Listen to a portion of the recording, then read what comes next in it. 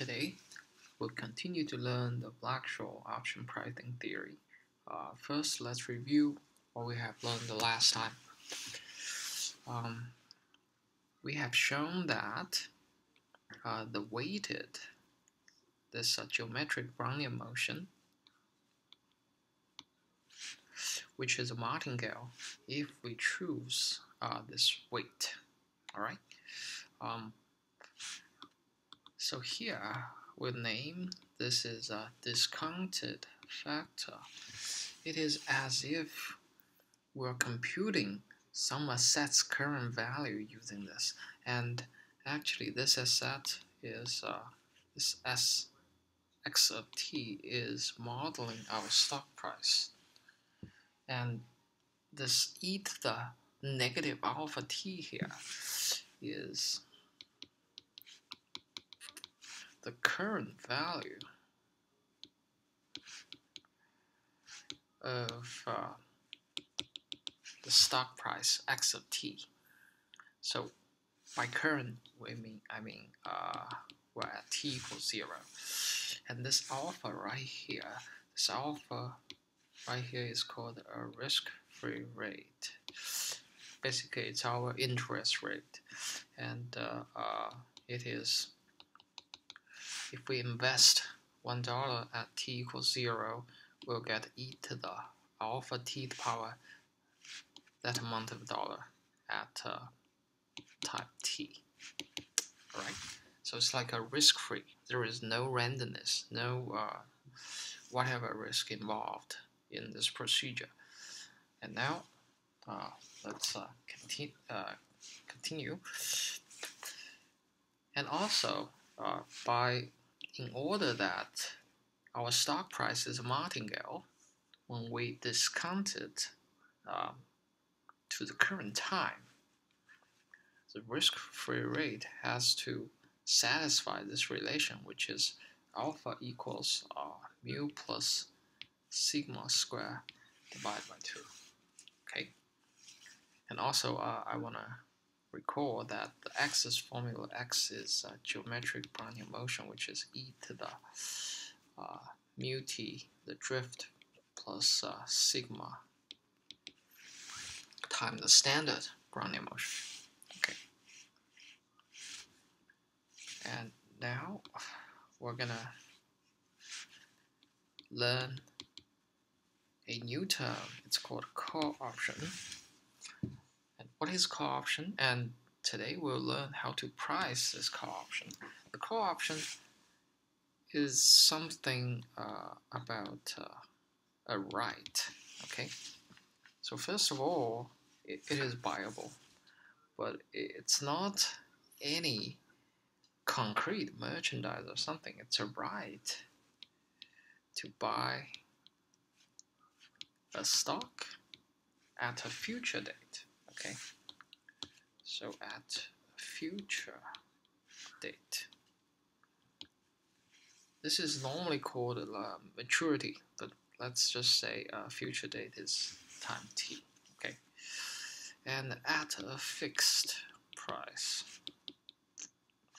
All right, and this price we name it k, which is called a strike price. Okay, and so basically we can what we can have is uh, let's say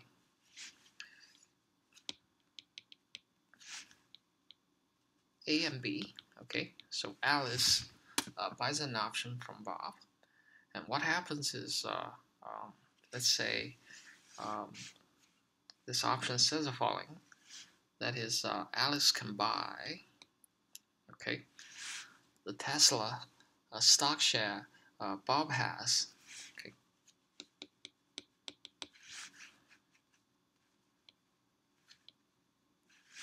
At let's say uh, seven hundred dollars a share uh, in let's say one year. Okay, something like that. By the terms buy what we mean here is actually Alice has to pay actual money to Bob to buy this right. Keep this in mind. Alice hasn't buy or hasn't bought a Tesla share from Bob yet. Alice just bought this right to buy the share. Okay. But after a year, uh, Alice can choose whether to exercise this right or not. So after, let's say, a year, uh, Alice may choose whether to exercise this right.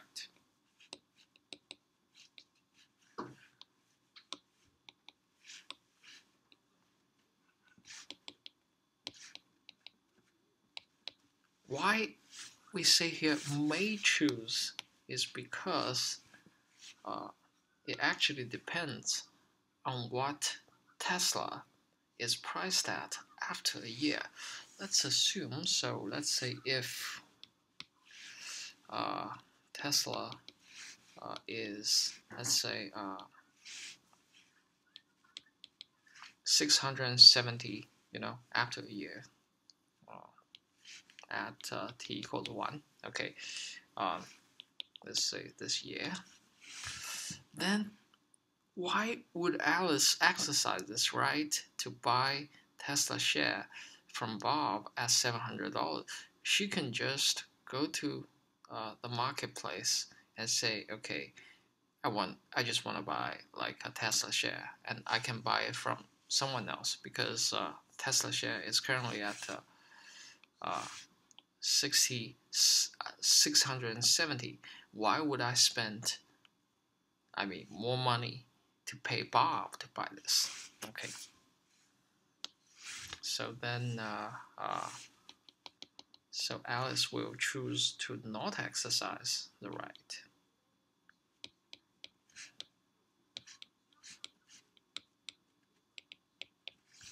However, okay,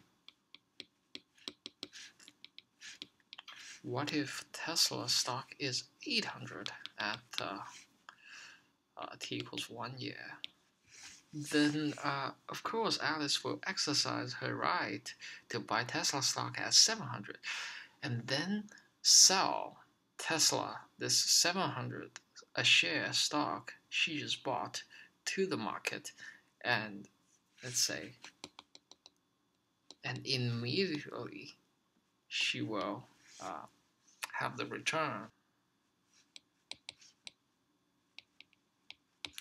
all right and this option is quite unique in that uh, when Tesla stock price uh, when it's uh, less than this 700 price the strike price of the option it's awesome. it's worthless but uh, if it's more than that it suddenly it has some value.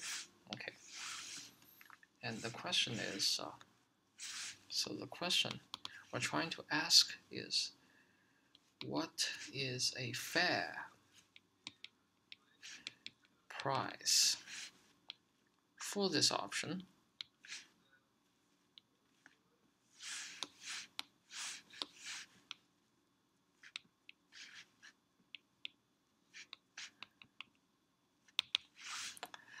and we're looking at this price at both the future time t and at uh, current time which is t equals 0 okay. First of all um, on future time t um, we have used this example to illustrate that this right uh, to buy a share of stock has some value, okay? Especially uh, when it is the case when the stock price is higher than the strike price of the option. But now we may also ask the following question, um, because in this option trading, this scenario, we have a buyer and a seller. So the seller uh, do not want to lose money, right? So as a result,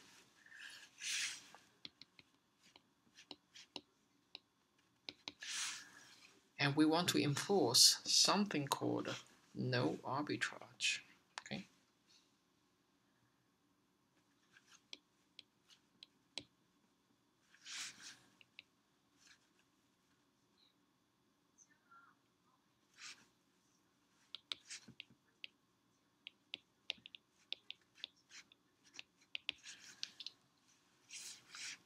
So our option uh, has value. Um, the value of this option at time t is essentially the stock price subtract uh, the strike price plus, which is if the stock price is higher than the strike price, then the value is just their difference. Okay. And it's zero if uh, the stock price is less than or equal to this K. Um, the reason for this pricing is what we call no arbitrage.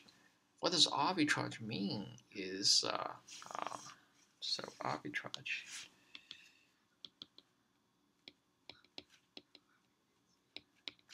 mean is um, um, is the opportunity to make money instantly and without any risk.